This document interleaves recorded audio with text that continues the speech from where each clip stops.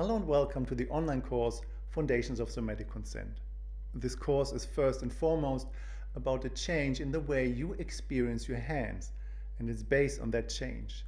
It is about a practice that is extremely simple and very fun to play with. It's for two or more people and it involves touch. It opens up for you this kind of clarity and ease that nothing else can. So you don't learn here about techniques or tricks.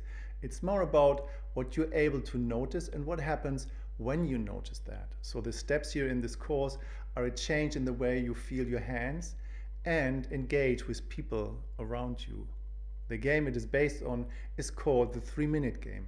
It got invented by Harry Faddis and it's about the process of who is doing the action and who is it for and learning to distinguish between receiving and giving, what they are, and probably more importantly, what they are not, and how they affect your experience of touching and being touched. So you will learn the steps to practice the game, how it works, and how to play it. And then you will get the somatic consent engagement system drawn out that you see here behind me, how it all fits together as a guideline for personal and spiritual development.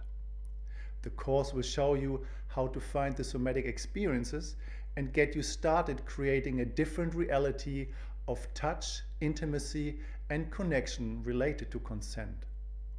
It's also my intention that this course serves as a reference for those of you who have already been in touch with my work or learned about it somewhere else, or have taken one of my events or sessions.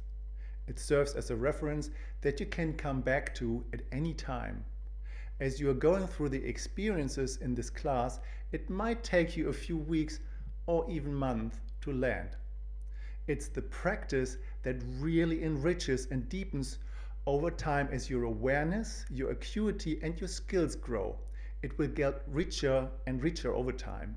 So, for sure, you will have your ahas right away, but again, the deepening over time is where it's getting really rich.